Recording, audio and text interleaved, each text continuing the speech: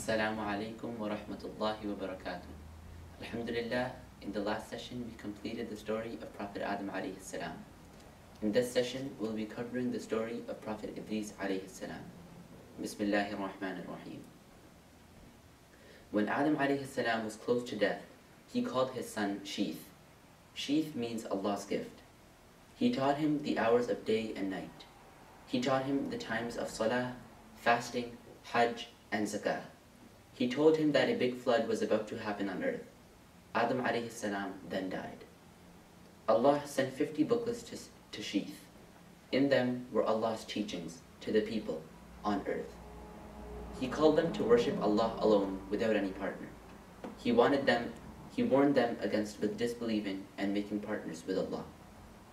Sheeth lived amongst his children, teaching them Iman. When he was close to dying, he gave orders to Anush. Anush then used to call to his people, just as his father used to do. He in turn taught his son Qaynan how to call the people to Allah. Mihlayil was of the fourth of the generation. He was a believing king. He made war against the people of Shirk, who were the children of Qabil. He taught his son Yid, who called the people to Iman and good deeds. When Yid was about to die, he called his son Idris. He was a pious man who worshipped Allah and was not greedy for the world. He was learned and he, he learned and understood what his father wanted. He used to take out the booklets which Allah sent to Sheeth alayhi salam and read them every day so that he would not forget them. He used to worship Allah and remember him a lot.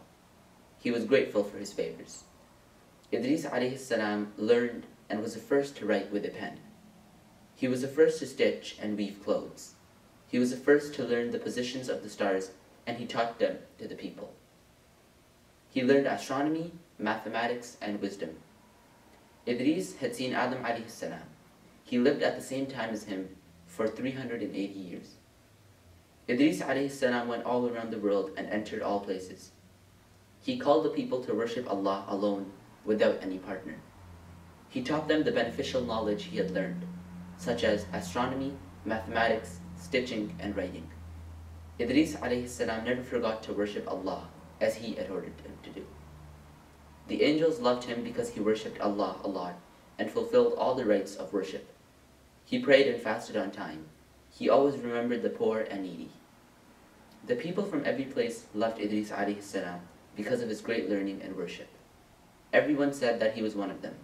The Egyptians call him Horus, and, and say that he was born at Memphis, the old capital of Egypt. They also said that he went to all the countries and then went back to Egypt. The Jews call him Enoch. They say that he was a Nabi who worshipped Allah a lot. Allah loved him and lifted him to the sky. The Greeks call him Hermes.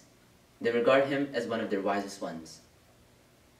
All these prove that all the peoples of the world loved Idris alayhi salam. This was because he taught them beneficial knowledge and how to worship Allah and perform salah.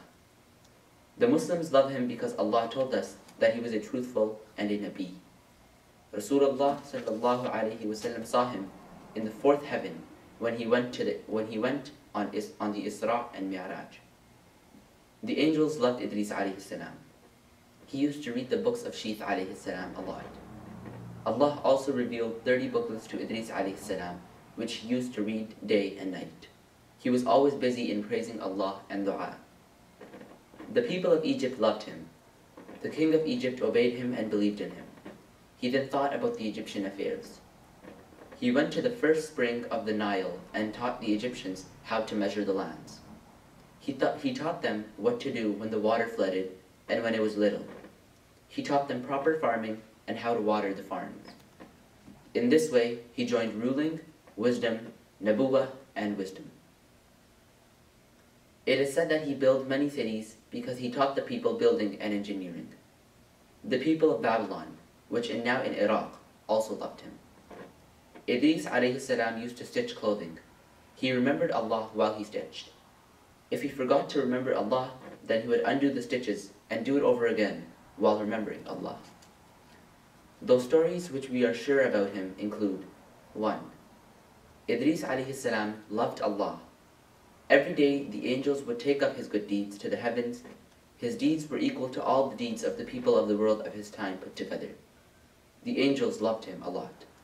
Number two, Idris salam was the first to write, the first to stitch clothing, and the first to learn astronomy, mathematics, and engineering. Number three, he went around the world teaching people proper worship and the, and the beneficial knowledge which he had learned. Number four, all the nations loved him, so much so that they all wanted to make him one of them. Allah also loved his Nabi who worshipped and remembered him a lot. Allah therefore gave him a high rank. The people of the world love him and speak good about him. In heaven, Allah raised his rank and made him near. Idris alayhi salam was near to Allah. This was the honor of Idris alayhi salam. Before Idris alayhi salam died, he taught his son correct worship. He told him to believe in Allah and not disbelieve. He taught him all the beneficial knowledge he had learned before. He, or, he ordered him to wage war against the sons of Qabil, who worshipped idols and disbelieved in Allah. Idris alayhi salam then passed away. Now we'll talk about some beneficial lessons to take from the story of Prophet Idris alayhi salam. Number one, worship Allah alone without any partners. Number two, a believer makes an effort to learn beneficial knowledge and teach it to others. Number three, a believer always remembers Allah, even when he is working. Number four, a believer loves all people and does good to them, and then they love him also. Number five, Allah loves the believers and raises their ranks. And number six, the angels love the believer when he does good deeds. Alhamdulillah, we have covered the story of Prophet Idris alayhi salam. Insha'Allah, we'll be beginning the story of Prophet Nuh alayhi salam in the next session. Assalamu alaikum wa rahmatullahi wa barakatuh.